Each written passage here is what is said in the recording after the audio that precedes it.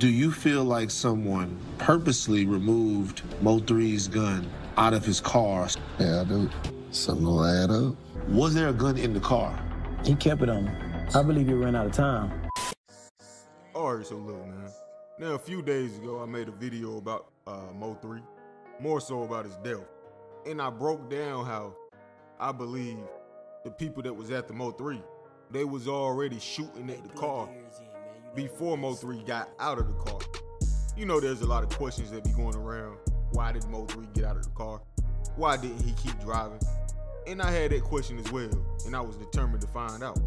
And after listening to a bunch of interviews, reading through a bunch of news articles, everything started to line up with the fact that once Mo3 came out of that tunnel and got on the freeway, that car, the black Camaro, it sped up alongside Mo3, started shooting at Mo3, and that's when Mo3 randomly uh, pulled over another lane and stopped his car.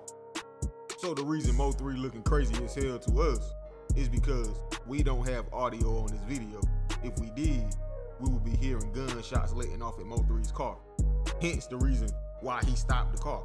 One of those interviews, the guy Big B said that uh, they shot out his tire. So again, he was left with no choice but to get out of the car and try to defend himself. And once he couldn't get to that gun, hey, he had no choice but to run. What you want him to do? Just stand there, slap box the bullets? He did what everybody in that situation would do. Run. Now me, I would have been up out of there. Soon as I hopped up out of that car, I'm gone. Boy, they wouldn't count me. But see, Mo3, you know he a gang gang in between. So he'll rather die standing for what he believe in than running away like I would have done. So instead of running as soon as he got out of the car, when he actually had a head start on the uh, on the suspects, he decided to waste time and walk around the car to try to have a gunfight with him. And that's ultimately what uh, probably cost him his life. That split second right there. I know y'all might not think it's much, but it's a big difference between Mo3 hopping out of his car and taking off versus him having to crawl on the ground while the person already running up, get up off of the ground, and then start trying to run. You get what I'm saying? Mo3 could have been up out of there if he would have never tried to have a gun fight with him, is basically what I'm saying. But anywho, I kind of debunked that theory because people was thinking uh, Mo3 just got spooked out and hopped out of his car and tried to run away. Or not even that. They just thought Mo3 was stupid and hopped out of his car because he wanted to have a gunfight. But in all actuality, he hopped out the car because he got shot up. That's why they pulled in front of him and hopped out of the car because they already shot up his car. But anywho, I actually uh, found some news articles that uh, supported this theory of mine. This is from the U.S. Sun.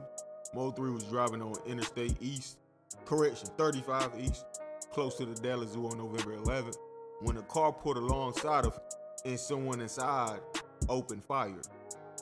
Here's another report. Sources told news outlets that Mo3 was driving on a busy freeway when a car pulled up next to him and allegedly sprayed his vehicle with bullets. So you see all of this is starting to line up. They drove up beside Mo3, started shooting, and when they shot him enough where it forced him to stop stop his car, they they cut him off, hopped out, and did what they had to do. Next time anybody asks y'all, well, why Mo3 get out the car? This is literally the reason. But anywho, before I end this video, I also wanted uh, to touch on another subject. Is regarding that theory that uh, Mo3 left Jossie Banks' house that morning and uh, drove to the gas station. And actually, this is not even a theory. This is fact. TMZ posted it themselves. Let's see. Uh, this is from TMZ. Sources close to the situation tells TMZ Mo3 was leaving a female companion uh, house Wednesday morning and noticed he was being watched. We are told that they followed him in their vehicle from Jossie Banks' home to a gas station. And once Mo3 noticed that uh, they was following him to the gas station, that's when he knew something was up. And he jumped on I-35 in an attempt to actually lose these suspects that was uh, telling him. But of course, the traffic was a little congested. And also, they shot up Mo3 car. How far do you think you're getting on a shot up Honda that also had a ledge flat tire? They had a Camaro fam, over. That was just a tough situation for Mo3. He had like a 3% chance of making it out of that situation alive. As I said in the last video, this all was premeditated. That's the reason you had people on the freeway who got the traffic stopped up. Like they knew this was going to happen right there on that freeway. Mo 3 had a very slim chance that day. And again, to uh, give better evidence that this was premeditated, they was trailing Mo 3 at the gas station. They could have easily got Mo 3 at that gas station, leaving the gas station, leaving Jossie Banks' house. But no, they specifically wanted to force him on that freeway and murder him right there. So the audience that was waiting on standby can see it. But this gas station thing is tricky. Because if you didn't know, man, Mo 3 Ops got a whole verse rapping about a gas station. Dissing Mo 3 rapping about, hey, you better be careful when you leaving that store. Look both ways. Like this what they was saying on the song. Be careful leaving that gas station. Now, if you know what song I'm talking about, that's good for you. But y'all know I'm not about to spill the beans. That's free promotion, man. I ain't about to give these people no free view. But y'all know me, I'm no liar, so you can go find the song for yourself. It's not hard to find. But yeah, it's just like these people tell us everything, man. And in that same song, he telling us about how Mo 3 people was hitting up his people, trying to get the 50,000 that he had on Mo 3 head. So basically, some of Mo 3 people was trying to line up Mo 3 for the bag that Mo 3 Ops was offering. And there's no surprise, right? I mean, most of Mo 3 music, you can hear how he uh, felt he was betrayed by his friends. And also, how he feel like one of his friends might be the one that do him in. And I don't know exactly how many people have, have their hand in the death of Mo 3, but I'm 100% positive it's not only Kewon White and that Devin Brown dude. And if you ask me, one of these other people is somebody that was close to Mo 3, or at least that was cool with Mo 3. Because again, in this song right here, this guy's basically telling us Mo 3 people hit up my people trying to get that bag a long time ago. Boy, I could have been set you up. That's basically what he said on the song. And then when you think about uh, one of Mo 3's songs right before he died, uh, Get Back. Heard it, around my way, gave y'all a drop, okay, yeah, bet that. But he can't talk to y'all no more. Guess what? Ha! Got they look wet. That's that's basically Mo 3 saying, I already heard about people around my way trying to get y'all to drop. So Mo 3 was aware that somebody around him was moving funny around the time of his death at least. And that's probably why Mo 3 was planning on uh, moving to the Bay Area. Because when you got people in uh, Oak Cliff wanting you gone, people from your own hood in North Dallas wanting you gone. You get what I'm saying? But yeah, that's pretty much it for this video. I just wanted to really show that uh, Mo 3 car was shot up. That's one of the biggest questions everybody asks. Why did Mo 3 get out of his car? But it's because they shot up his car. And allegedly, they shot out his tire.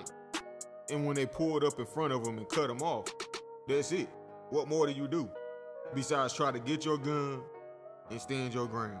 So all of that, oh, he ain't about that life. That little short fat dude, that big head, boy, he ain't about nothing. No, no, no. He actually died trying to do what he rap about. The video proves it.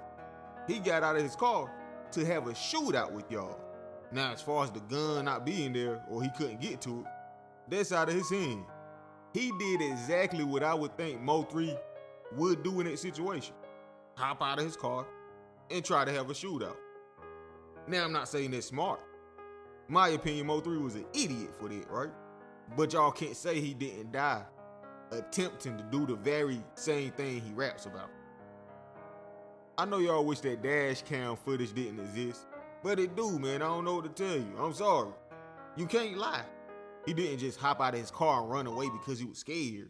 He ran away because he had no option at that point. The gun wasn't there. I mean, use your brain, right? Just like I said earlier in this video. If Mo 3 was just flat out scared, he would have just hopped out of the car and started running, like I told y'all I would have done. But nah, he walked around his car to have a shootout with y'all. That's what happened. Everything else was out of his hand.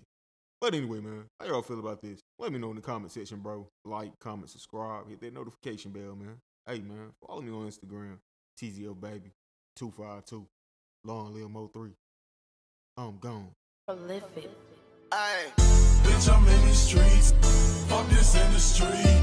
Bitch, I'm in these streets. Fuck this industry. Bitch, I'm in these streets. Fuck this industry.